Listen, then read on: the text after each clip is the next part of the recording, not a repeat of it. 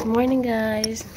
Welcome to my vlog. Please don't forget to watch and subscribe my channel.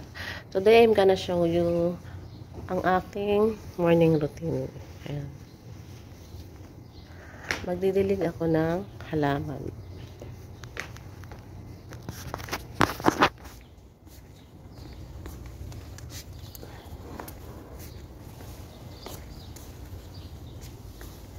Yan ang aking mga alaga. Ito ay bonggambilya. So, namumulaklak na sila.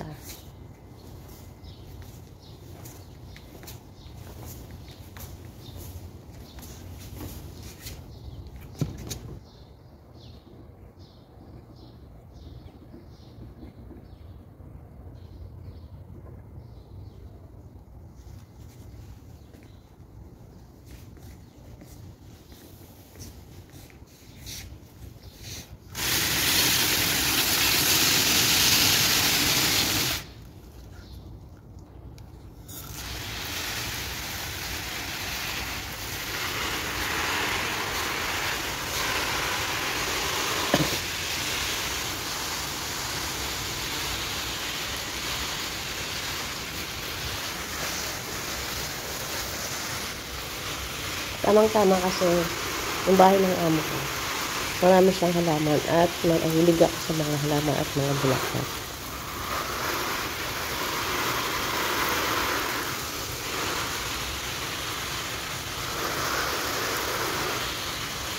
Halos lahat naman sa atin nahilig sa mga bulaklak. So, kasi nga, diba, lalo rin mga babae. So, dinadagdagan ko yung tubig kasi nandito ako sa ano sa Riyadh. Sobrang init dito.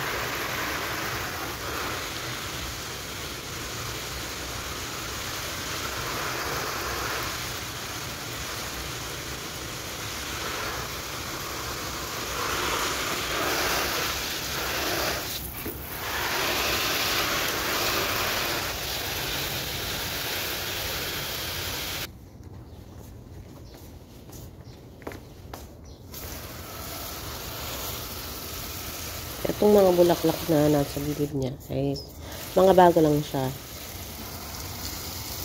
Siguro mga ano pa lang. Wala pa siyang one week.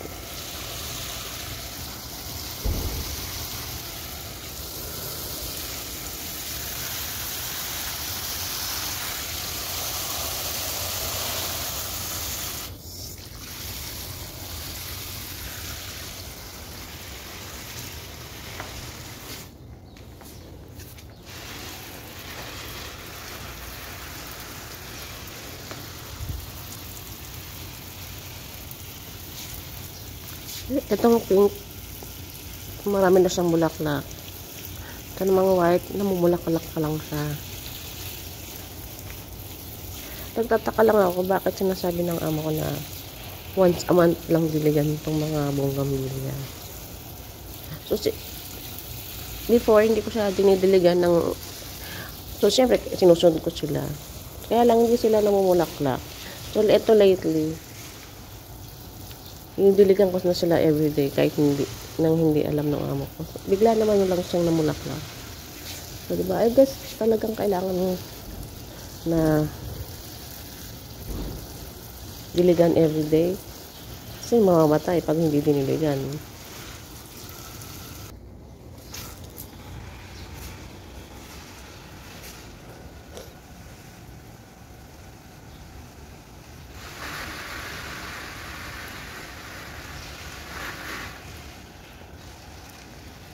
Yan yung aming mulberry. Madalas siya mamunga noon eh. Kaya lang kasi eh, simula nung pinutol-putol yung mga sanga, parang nagtampo na siya.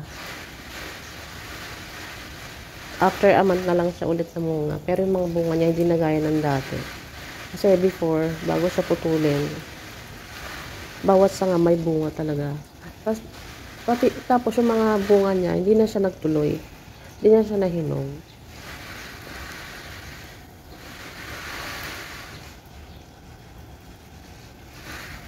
So once again, thank you for watching and please don't forget to like and subscribe my channel.